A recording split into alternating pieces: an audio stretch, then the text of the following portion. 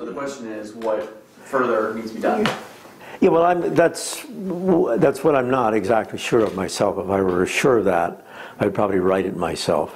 Um, but the fact that I'm, uh, there are two reasons I'm not writing.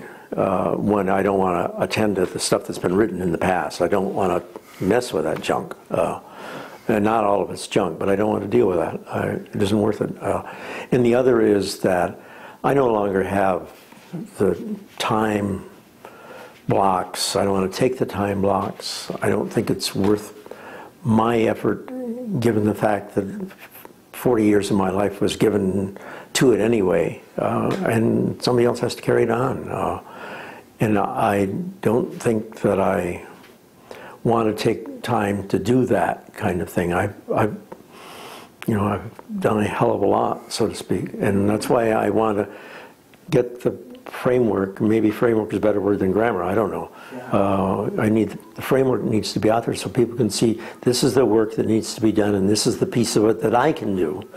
Uh, and there is a difference between the kind of work that needs to be done at the dissertation scholarly level and how it relates to practice. And I'm aware of that as a problem. So people who go on for doctorates just to get the degree so they can go back to practice, we shouldn't be wasting our time on them. Somebody else ought to be wasting their time on them. Uh, if there are the, the, fact that the educational the curriculum field is not a scholarly field is a problem, but it's no much more of a problem than other practical fields that also lack a historical focus. Uh, and part of the needed scholarliness in the professional fields is somebody who has the time and the resources to do that historical digging. And if an institution cannot provide the financing for that kind of scholarly work, then the doctoral students in their dissertations need to do it before they go out back into practice. That's the only place where I see that. Now, it would be great if somebody could sponsor a 10 year scholarly historical, that's not going to happen. Because people investing in education, again, want quick, easy solutions, which is stupid. Which is, can I relate that to the church in the sense? Oh yeah, no, I agree. I, I agree with you. Oh no, I agree with you. right, okay. No, I agree with you on that. Uh, the, uh, we, we're, we are an ahistorical culture, uh, and that is a major problem, because our problems are historically determined, and they can only be solved with historical consciousness. Mm.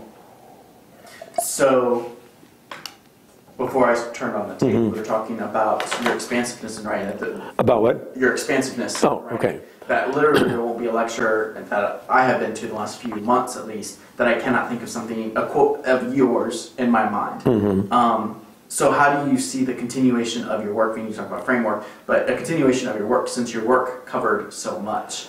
I don't. I can't answer that. I don't know. I, uh, no. That's that's one of the problems. Uh, uh, again, what I what happens, or what has happened, is that particular pieces have been taken out and developed further. And so Mike is a good illustration of Mike has indeed attended the political, in a sense, the economic aspects of it. Uh, and I think probably in his work with teachers, he probably develops that kind of consciousness within teachers. I'm not sure of that. Uh, but then he doesn't deal, in a sense, with the larger um, existential questions or the ontological questions or the epistemological questions. And he doesn't deal with the content questions except in that narrow range of political economy. Uh, uh, but what we're talking about is indeed the way science is also being taught. And why didn't the Conant focus back at Harvard back in the 30s, where he was dealing with the history of science, why hasn't that been a major focus in some ways? Because it's crucial, uh, so to speak. And if I were to go back and teach, you know, in some place like Teachers College, uh, whereas Arno was, you know, doing some historical work, I would, and, and, if Larry Cremin were to ask me again, would could I help you develop historical skills? I would say, by all means, now you could, because now I know what the problems are. Then I didn't know what the problems were, and to get caught in the historical stuff, I would have been dealing with uh, stuff that really wasn't as important. Even though Larry's first book was important, his other books have not been that important. So, And I don't know who's doing good history of education. Well, that's not true. I know Tyack has done something on history of uh, educational in- innovation. I don't know how good it is I, because I don't look at that. But I don't know who else is doing that kind of work. Uh, Well, and correct me if I'm wrong, it doesn't seem like you had an agenda with your scholarship either. I mean, you I didn't have an actually led by agenda. I was, I was, but my curiosity was not necessarily driven just about a curiosity about education. My interest in education was that I was curious about the human, about myself as a human being and other people as human beings. And one way of giving that form was indeed to focus upon education. And it isn't that I have been driven uh, simply by uh, comprehension, the ability to comprehend education. It's been my effort to try to comprehend the nature of human life. And uh, uh, and that I probably could have found in other fields, and I clearly find it in in the ministry. Uh, you know, there's no question about that. Uh, if I were in that field. Um, I am I am very glad that I did not become a scientist uh, in when I had chemical capabilities or engineering capabilities, because the interest in developing simply scientific theories or technologies doesn't deal with the human experience necessarily. Now it could and it should, but it doesn't. Uh, so I'm really glad that I somehow or another found education as a way of exploring what it means to be a human being. Yeah.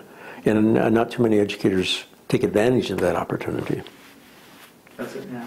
Because I went to seminary, that's one reason I went to seminary, right? And my, Yeah, my, yeah. my religious tradition Yeah. is to understand humanity. Yeah, yeah, no, I agree. And, and there, certainly that's true of a lot of people in the ministerial field or in the theological field. I don't have any question about that. Not all of them, but many of them that I know of. I've, uh, Ellen has a student that we worked with. I say we because she became our gardener for a while. Um, and she's a Roman Catholic, studied for the MDiv. Um, and she would come over and garden, and Ellen would talk about what she wanted to do, you know, what, what she can do with her education. And after a period of maybe a year or so, she was aware that what she was interested in cooking, and she said, What I really want to be able to do is to cook for the dying. You know, just tremendous, uh, which it seems to me is a continuation of this searching what is the meaning, how do I make meaning out of my life? To cook for the dying, my God. And so she tried it here with the hospital, and some of her connections fell flat for a variety of reasons, not, not of her making. Uh, she, and she wanted to go to New York, and I don't know how she found the connections, but she's working for a uh, priory and a Catholic order of Dominicans, I think, uh, who have a variety of jobs, some of them in a local parish, some of them at the hospital, two of them dying. And she is their weekend cook and is now finding a vehicle where she can gradually broaden that whole concern out. And that, that carries with it the same kind of curiosity about, you know, what can I do? And Ellen does the same thing. Ellen, in terms of, is, is not just a typical Old Testament scholar. She is constantly into new areas, pushing both the Old Testament and pushing her own awareness. So her interest in South Africa, in Sudan, her interest in agriculture, her interest in Jewish Christian Muslim dialogues, uh, her, her interest in African interpretation of the Bible, all of that is life giving. I guess that's the answer. Uh, not too many professions are life giving. Yeah, yeah. And life giving means what the hell is it all about? You know, not just joy, uh, but the pain and the, everything that goes with life giving. Yes. Were you an, always an original thinker or an original? I have no idea. I, I just don't know. I, when I was in my junior college chemistry, I was certainly supported by the chemistry faculty, and one of the chemi- chemistry teachers who was an organic chemist said, geez, you ought to be a research chemist. Now, you know, I don't know whether I, I was curious at that time and I was self motivated in the science area. I taught myself the calculus. I, you know, did a lot of things. And uh, I've done my own work in, in uh, photography and things like that. But so I've been curious, um, but I don't know if I've ever been. I I would not have normally identified myself as creative. I wouldn't have identified myself as creative either as a person at Teachers College, although I'm aware that my work is indeed unique and quite different than creative. But I don't, I don't see myself as a creative person. I see myself as a questioning person, as a doubting person, uh, and uh, uh, I'm very much aware of the false consciousness of a hell of a lot of people around me. But yeah.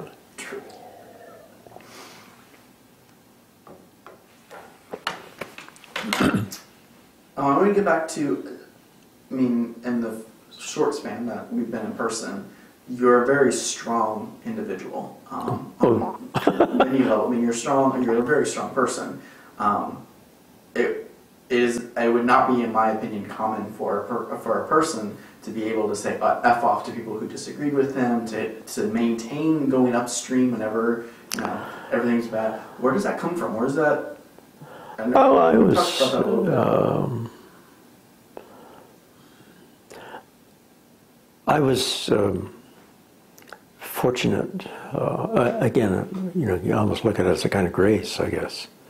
Um, I was not a well-adjusted kid. Uh, I did not run with a group. Uh, I was not interested in socializing and dancing. I was pretty much an isolate. Uh, which means essentially that I was freed from others people's expectations and the, the need to go along with them. I, I was outside. Uh, and I have probably always been that way, uh, which is one of the reasons I didn't get married until I was in my 40s. Uh, you know, in then I only got married because I managed some pretty intensive psychotherapy for a while. Uh, I committed myself uh, very early in my life. I am not going to have a family and have raised kids. And I have great respect for my parents. They raised me well. I don't, that's not a comment. But I don't want to live, uh, to go through life raising kids the way I and many of the people I know were raised. Um, Would you like to expand on that? Like how? What do you mean? well, I'm not sure about that. I just know that my childhood, whereas it was a good childhood up until the Depression, it was a miserable childhood after that. Uh, and I was really had been wounded uh, in both because of the loss of our house and because of you know the other things in the and I simply didn't want to get other people caught up in that kind of uh, I shouldn't say unhappiness, but I because I wasn't unhappy necessarily. Uh, I didn't want people caught up in some of the shit that I was caught up in. I guess that's the simplest way. Uh, and consequently, I did not develop uh, really good social skills. Uh, I was probably atypical socially, uh, and was indeed was and still is uh, an introvert uh, of the first water. So I could care less about what some people think. Uh, uh, you know, that could be a character flaw, but it could also be a character strength. And I probably turned it into a character strength in terms of, okay, I, I have to think for myself. I'm going to be responsible for myself. And I didn't marry until I was 44 uh, for the first time. And that, I was not capable of a real uh, interpersonal relationship uh, earlier uh, until I had some very extensive psychotherapy. Uh, I had relationships, but I can't say that they were truly uh, uh, interpersonal exchanges of, of an emotionally meaningful kind. So yeah. that's probably the essential source of that. It's probably my neuroses that have given me the strength to say, the hell with y'all. Uh, you know, I'm going to do my own work. And at the same time, when I was at Teachers College, I never was obnoxious in that sense. I, you know, I respected the people I was working with. I got along with them. I worked with them. I did committee work well. Um, but when it came to my intellectual work, uh, when I started reading in religious literature or mystical literature, uh, you know, I didn't care what other people wanted me to read. At the age of 44, where were you professionally? I'm not sure. I was uh, had become already an associate professor with tenure. I was given tenure within the first four or five years of Teachers College. Completely different worlds. Oh yeah, totally, totally different. Yeah, no, that can't happen today. Did you ever feel like you had to sacrifice areas of your life for your profession, Hmm. as your family and so forth? No, Were you intentional about? Well, uh, no, I can't say that I was intentional, but I'm sure that that's one of the reasons I married late. You know, I, I married late, which meant that I was well established professionally, and I could devote my energies to family. Uh, and I never felt a split. The only time that split happened is when we moved to Connecticut, when, and it's at that point that my marriage began to fall apart. And I, I, my, my first wife in New York had been teaching at a, at a really good private school, and we were using her income to pay my kids' college or uh, school tuition, and we were quite well, doing quite well together. And when we moved to Connecticut, I was aware that my new work was going to be really time consuming. And I think I probably said, I need to be able to devote as much energy as I can to this work, and we will have to think later about your work and what you're going to do. Now, whether that was something that contributed to the divorce or whether there are other factors, because there are other factors that I'm aware of, I'm not sure. But no, I never. sa- I, my work was did begin to sacrifice under the tensions and turmoil and pain of a divorce. Uh, but that wasn't intentional. That was, you know, that's the way those things go. Yeah. So. Well, many times nowadays people talk about that as far as sacrificing everything to get tenure because the. I have never sacrificed everything for my job. Okay. I, I attended my job, uh, but I also made sure that I had a life, and particularly a family life when I had kids. I remember uh, being good friends with a historian at Teachers College, John Miserly, uh, who became president of um, one of the Pennsylvania colleges. I forgot which one. Uh, he was a historian who had uh, done his dissertation, I think, on Horace Mann. He also had a house up in the country, and he and I both would spend time in the summer rather than doing scholarly work. We would rebuild our houses, you know. And Larry Cremin was furious at him. He would say, you know, John, why don't you stop working on your house and do your scholarship? Well, nobody ever told me that. Partially because the Department of Curriculum Teaching was not a scholarly community in terms of writing. Our work was, uh, our work was teaching, and our work was making sure that our students got a good education. But the scholarliness, the writing was not, not crucial. If it had been crucial, I'm not sure that it would have gone in the same way. So my, uh, my writing comes not out of demand to write, but the fact that I either was invited to lecture or had things to say or something like that. So I, I, I, be, I have really become aware of the scholarly demands through my life with Ellen. Uh, mean, she is a true scholar, and um, sh that is a priority for her. Or our family life is too, but our no family life is not complicated because I'm retired and we do not have children that we have to raise. So, but she, uh, she won't take a you know a day off without working. Uh, she doesn't want. We don't vacation. She'd rather write. Yeah, and I don't mind. Uh, And we talked about earlier her writing skills. She find writing. She, she enjoy writing. Oh, well, she was, uh, she graduated from college when she was 16, went to Berkeley, and uh, did a program in, uh, in uh, humanities. And one of her teachers was, uh,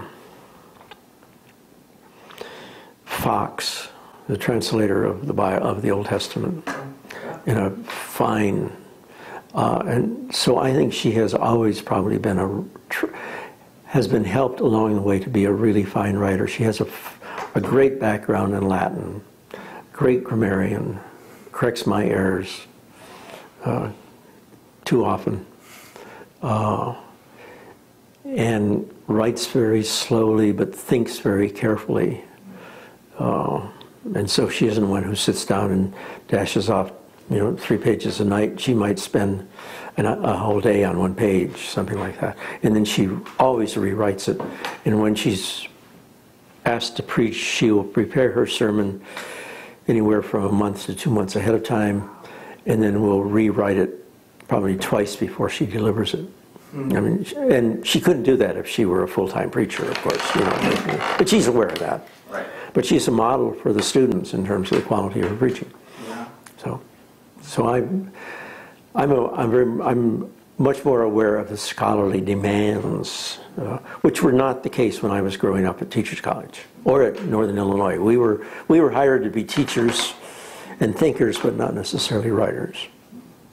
This is a what if question, um, so take it as you will. Would, would you have been interested at teaching at Union? I ask this because you made it clear your intentions of leaving Teachers College. Did you also have that same feeling about Union? It was time to go, or would you have taken a full time position at Union? if Well, Union- offered?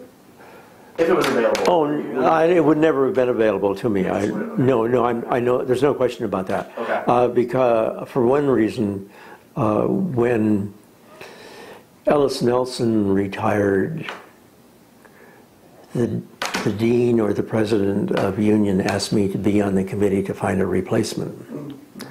Uh, and so I was respected for my commitments to religious education, but they knew that I did not have the biblical or theological capabilities. And I might simply have glazed over the eyes of the people at Yale, for all I know. I, you know, I had enough reputation in the field and got enough. Uh, Barbara Wheeler was a strong supporter of mine. Uh, and when I went to Yale, uh, one of the first persons I met was Bob Lynn, who at that time was at the Lilly Foundation. He said, Dwayne, I'm so glad you're here. If there's anything I can do for you, let me know.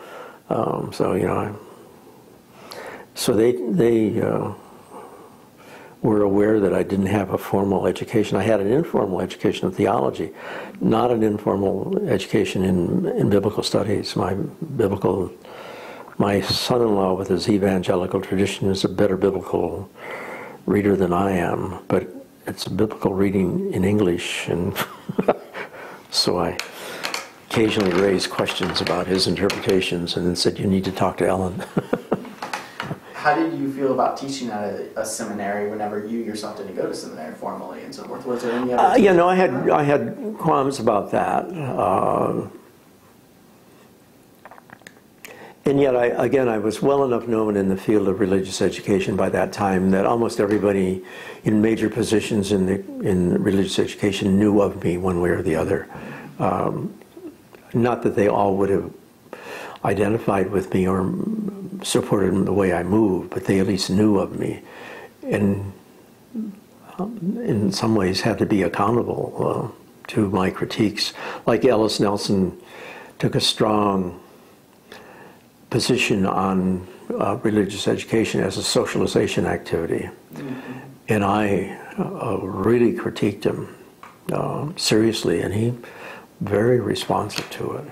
Uh, and not much of religious education required a strong theological or biblical foundation. That's the other part of it. And when I taught religious education at Yale, I drew upon uh, people who were writing in the field of Bible and education. Uh, you know, I don't remember the names. Moss was one of them, but there were other people who did that. So I could draw upon their work and look at.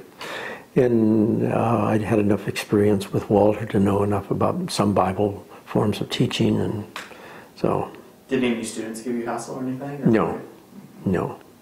I'm, I'm sure some students stayed away from me, but they never gave me a hassle. Uh, and, as in most seminaries, theolo- religious education is not something that most people want to mess with anyway. They'd rather get at the hard stuff. The only reason they do that is somebody asked them to do religious education, take care of youth. And I used to comment, that's a hell of a way to, for youth leaders to be. Uh, The experienced pastors ought to be the youth leaders, not the incoming junior faculty, uh, ministers. So, and, and I used to say that the major problem with religious education is because the sermons are so damn bad. Why don't you increase the quality of sermons so you arouse some curiosity so there's a need for religious education? Mm-hmm. You know, I, I would say that quite frankly. Mm-hmm. Mm-hmm. And I still think that's the case. Yeah.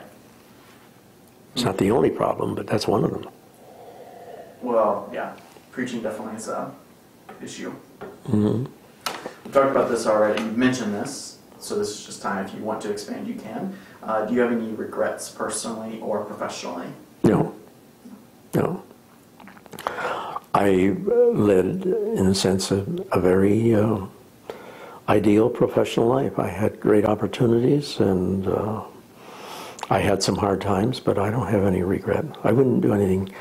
If I were to begin my career over again, I wouldn't do it, but that's because the culture has changed too. Uh, but if, looking back at the very beginning, I don't regret any decision that I made. Uh, I'm glad that I went to Teachers College rather than Berkeley. Uh, I don't regret having retired early. I'm really pleased that Yale had the courage to do what they did uh, In what sense, maybe? in terms of inviting me to teach. You know, I mean, it was a pretty gutsy decision on the part of the dean, and the dean did it over the resistance of some of his biblical scholars. Really? Oh, I know that. Yeah. Wow. Well, Did they? Did the faculty at Yale resist you whenever you became an administrator? no. Oh no, no, no. There was no So problem. once no. you got into that, Yeah, no, there's no, no, no, the, uh, it was the junior faculty members who were uh, really scholarly types. And my, and Lee Keck said to me, don't pay any attention to the, Dwayne, they're not gonna make the decision. So I, you know, Lee was really great, so. And when I went through the divorce, I really felt sorry for the institution because I couldn't devote the kind of time and energy that I needed to. And Lee said, all you need to do for religious education is to do what you've done for your field, write one or two articles that made make, make a big difference. And I don't know whether I did that. I, you know, I did some of them, but I'm not sure. Not as much as I would have wanted to do. I, because I was on the track for doing other things, and I was waylaid, waylaid by the divorce, and then waylaid by administration. So, So this is a bit touchy subject maybe, but in a correspondence we have in the archival collection that you sent, uh, I believe it's from you to Pinar, but it's definitely from you. You apologize in the letter for being ca- uh, callous.